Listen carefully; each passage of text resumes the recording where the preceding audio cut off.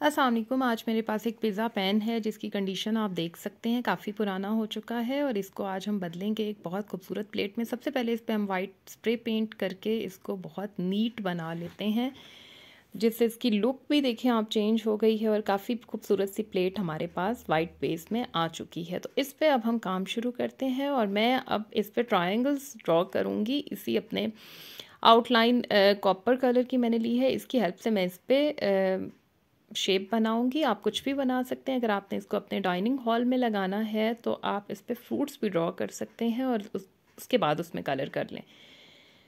तो मैंने इस पर थोड़ा इस तरह का काम करना है तो ज़्यादातर मैं सर्कल्स बनाती हूँ लेकिन आज मैं इस पर ट्राइंगल्स बनाऊँगी। पहले पेंसिल से मैंने इस पर कोई ड्रॉ नहीं किया तो मैं इस पर डायरेक्ट अपनी आउटलाइन की हेल्प से ट्राइंगल्स बनाऊँगी मुख्तलिफ़ शेप में मुख्तलिफ़ साइज़ में और फिर उसमें कलर करके हम अपना बाकी का काम करेंगे। ये देखें, ये इस तरह से आप इसको शेप दे सकते हैं। तो इस तरह से हम इसको करते जाएँगे और बाद में हम इसमें कलर करेंगे। वाइट जो हमने इस पर स्प्रे पेंट किया है, उससे इसके तकरीबन सारे जो थे डिफेक्ट वो दूर हो गए हैं। बाकी इस पर कोई डेंट नहीं था, ये बिल्कुल सीधी, अच्छी सी शेप में हमारे पास है पेन तो इस तरह से हम इसको रिसाइकलिंग का अपना काम करेंगे।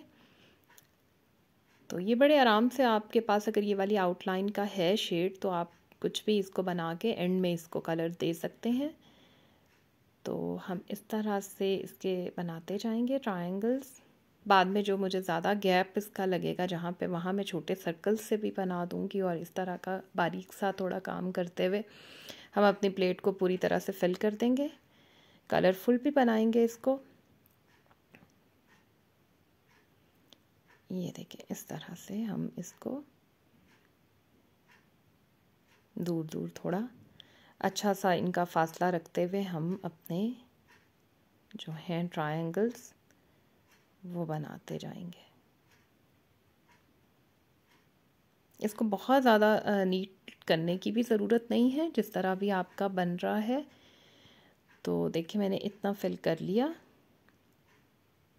आपके पास सिल्वर है या ब्लैक आउटलाइन है, आप उससे भी बना सकते हैं, उससे भी बहुत खूबसूरत लगेगा। तो ये देखें जी, हमारे जो हैं ट्रायंगल्स इस तरह से हम थोड़ा थोड़ा गैप रखते हुए मैंने इनको कर दिया है। ये देखें।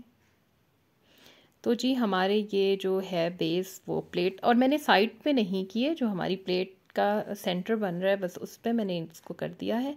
अब मैं यहाँ पे वाइट ग्लू लगा के मेरे पास जो वूल का धागा है ब्राउन कलर का लाइट ब्राउन कलर का, अगर आप चाहें तो इसको डार्क आउटलाइन भी दे सकते हैं। उससे ये होगा कि हमारी जो प्लेट है, उसकी एक आउटलाइन सी बन जाएगी।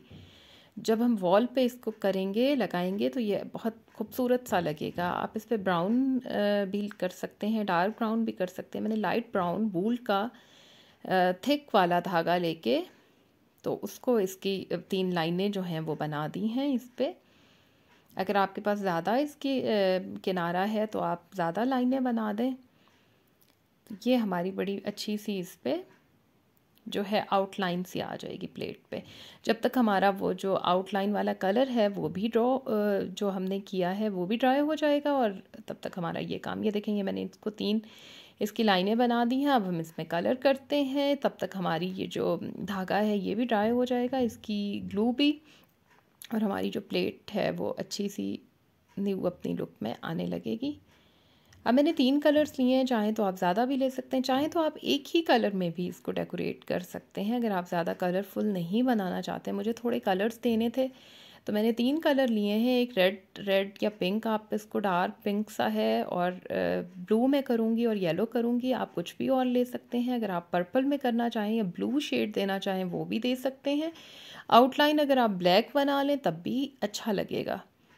मैंने लाइट कलर में देना था तो मैंने इसको इस तरह से किया तो अब मैं ये जो ट्रायंगल्स हैं, ये कोई ज़्यादातर जो हैं, वो मैं इस शेड में फ़िल कर लूँगी, बाकी के लिए मुझे, बाकी दो कलर्स के लिए भी छोड़ने हैं। तो थोड़े थोड़े गैप पे मुझे इसको सेम कलर मैं इस तरह से दे दूँगी। अगर आप एक ही कलर में कर रहे हैं फिर आप सारे अपने फिल कर लें।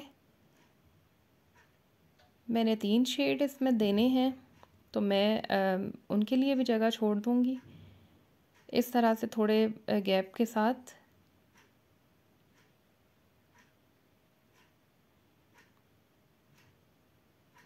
आप कोई भी कलर ले सकते हैं किसी तरह से भी। अब मैंने रेड इसमें फिल कर लिया। अब मैं अपना दूसरा जो है शेड वो इसमें करूँगी। येलो कलर लिया मैंने। तो इस तरह से आप थोड़ा थोड़ा गैप छोड़ते हुए, इस तरह से रखते हुए।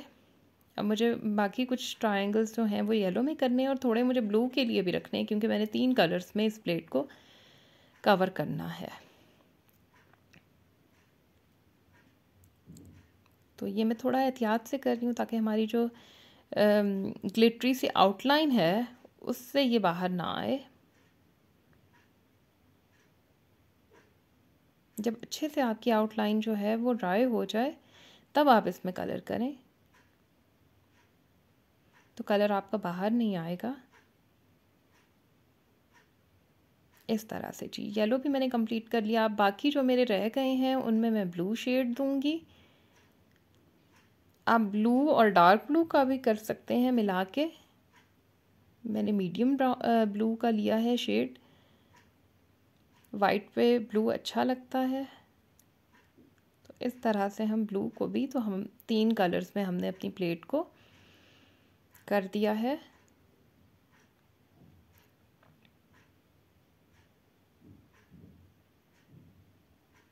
तो हम, अब बाकी के जितने भी मेरे रह गए हैं, वो मैंने ब्लू में ही करने हैं। तीन ही कलर्स देने हैं मुझे इस प्लेट में। कि मैं इस तरह से फिल कर लूँगी। और ये हमारा कंप्लीट हो गया तकरीबन ये वाला काम। अब अगर जो लोग मेहंदी लगाने में एक्सपर्ट हैं, वो बड़े आराम से इस पर बाकी का बारीक काम भी कर लेंगे।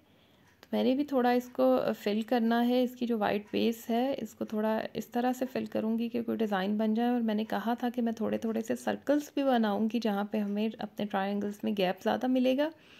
तो इस पे ये आप पे डिपेंड करता है, आप जो भी डिज़ाइन देना चाहें, जो भी बनाना चाहें, चाहे आप इसको डबल आउटलाइन दे दें, अपने ट्रायंगल को या जो भी आप यहाँ पे बारीक काम करना चाहें, या आप इसको ऐसे ही रखना चाहें, या कोई और मटेरियल मैंने इस पर नहीं लगाया, सिर्फ़ यही कलर्स करते हुए ये देखें, जो जहाँ पे हमें गैप इसका ज़्यादा लगेगा, वहाँ मैं इसको थोड़े सर्कल्स भी बना लूँगी। और बाकी बस इसके अपने ट्रायंगल्स के गिर्द मुझे थोड़ा सा डिज़ाइन दे देना है। तो इससे हमारी प्लेट पूरी तरह से फिल भी हो जाएगी और बड़ा बारीक सा काम भी लगेगा, दूर से बड़ा खूबसूरत लगेगा जब ड्राई हो जाएगा। और ये जी, ये देखें, इस तरह से मैं इसको कर लेती हूँ। चले, मैं आपको करके दिखाती हूँ सारा तो ये देखें, इस तरह से ये मैंने इसको कंप्लीट किया। इसकी साइड पे जितने भी मेरे ट्रायंगल्स थे, उनको मैंने इस तरह से इनकी साइडों पे लगा दिए।